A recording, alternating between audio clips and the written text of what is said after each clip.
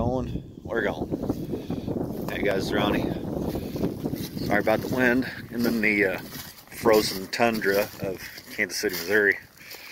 Getting a little sprinkles and man, Mother Nature has gone psychotic the past week or so. Haven't shot anything for a while. Figured I'd throw something together and post it real quick. Um, I'm not a big videographer, not a professional editor. Just a small town, small time guy messing around here, having fun with it. Hope y'all enjoy. Just give a real quick explanation and talk just a little bit about myself. Uh, 45 years old, been an automotive technician since I was able to be legally employed, but it's really kind of in my DNA. I grew up around it. My dad my uncles used to build high rods and stuff, sold used cars and had car lots and shops and all that stuff. So, yeah, it's just part of me. Um, Bonnie here, bought that car about 10 years ago. Always kind of like those. Much time in that one. It's got the 4T65 transmission in it, so that's why it's in the yard. I'll get to it eventually. I've babied it for well, 10 years or so, so it's still in really nice shape. Went and uh, gathered up the leather interior for it and all that stuff as I was piecing it together. Oh, is she gonna open? Nope. It's been a while. But she's in pretty nice shape. Um, picked that one up from the neighbor. Not real sure what to do with it. Again, no rust. It's the Z26 Beretta last year of production, 96. In the raspberry something I don't know, I call it Barney. That's kind of cool for what it is, but again, I don't know what I'm going to do with it. Trying to come up with a reasonable name for my channel to no avail. It'll come to me eventually. Uh, I live in a small town and I can get away with this sort of thing, so it's my uh, 06 Silverado. This is in one of my YouTube videos. I bought this thing at a car lot I was working at because it came in needing the uh, G80 rear end rebuilt. Did that. It had, uh,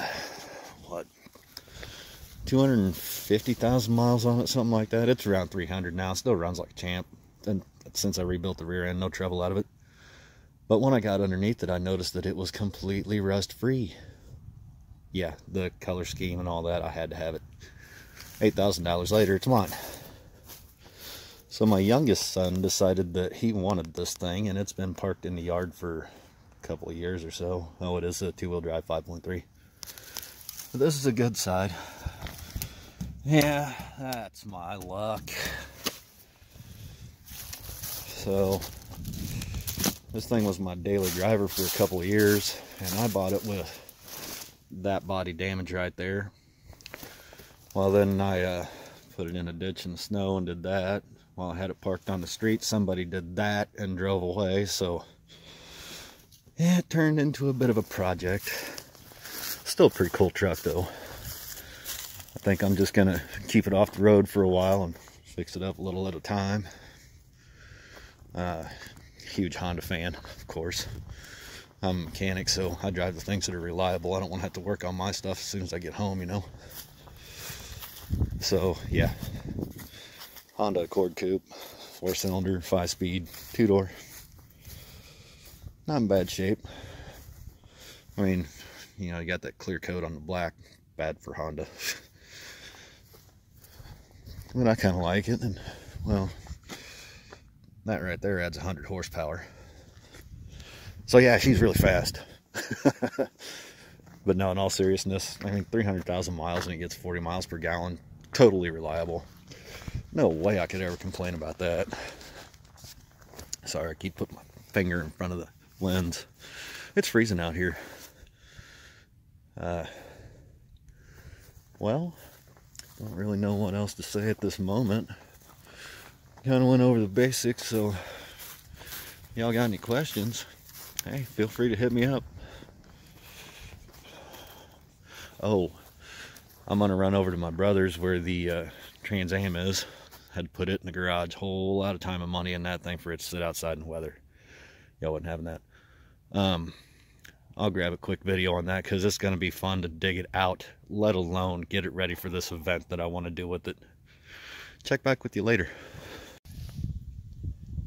So, as I was going through this, I realized that some folks might not like the idea of me driving a foreign car, but let me clue you in on something. Um, well, yeah, Honda is stupid reliable, as most people know. But, uh, you see that one right there? That means that this vehicle was built right here in the United States. So I don't really have a problem with driving it whatsoever. So this is my nephew's, what, 06 I think, Pontiac G6 Coupe.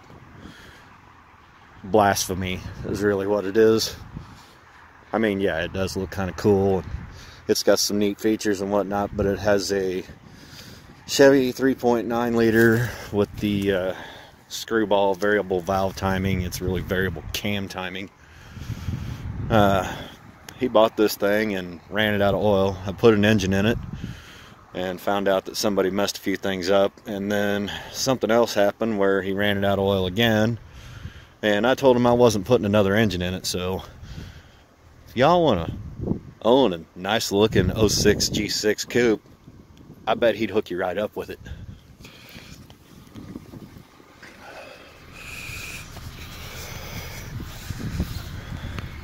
this is my brother's 2011 Camaro SS 6.2 automatic.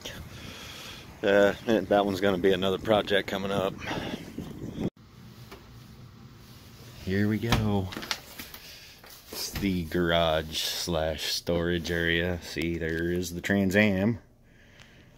Um, transmission's against the wall over there somewhere. Uh, Harley Davidson's for sale.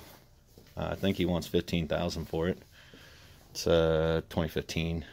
It's got a few mods on it. Fairing, radio, all that crap. But yeah, um, it's probably going to be more work getting the TA out than actually fixing it. But hey, it's inside, so I'm not going to complain.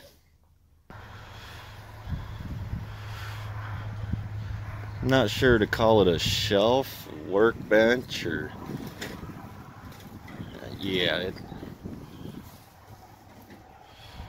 this is probably going to take a solid day, maybe two, just to get it out.